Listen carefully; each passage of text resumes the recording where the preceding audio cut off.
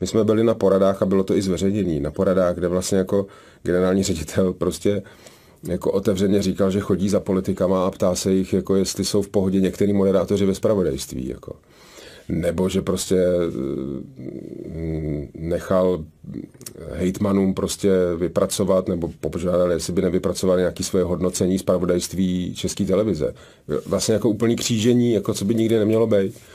A do toho vlastně tam byly tyhle ty podezření na to politické ovlivňování. A jako jak potom má člověk sedět vlastně proti nějakému politikovi, kterýmu, já nevím, jako Daniela seděla proti Haškovi, Hejtmanovi a říkala mu, že lže, nebo neříkala, ptala se ho, jak to je a on lhal, tak.